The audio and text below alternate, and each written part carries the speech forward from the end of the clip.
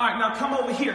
I want to show you something, Bruce Willis, okay? Now, check this out. This is something you'll never, ever forget or ever regret putting in your home. You know who this is, right?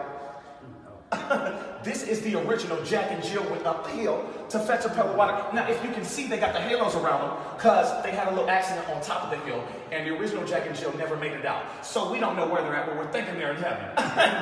this is 30,000. What do you think? We'll think about it. Talk to the wife? Or yeah. okay, moving on. Let's go this way now. Oh, yeah. Now, y'all know you're going to love this one, Magic Mike, okay? Now, this right here is a, a, painting originally painted by Donald Trump. Let me break down what it really represents, okay? Now, you got the cactuses at the border, okay? So, any El Mexicano trying to cross over, bing, bing, you know what I'm saying? Now, let me show you what the ribbon represents. This is when his punk ass went right over here and cut Obamacare off. Ouch, right. Now, this is about 40,000. What do you think? Way too high. Good answer. Let's look.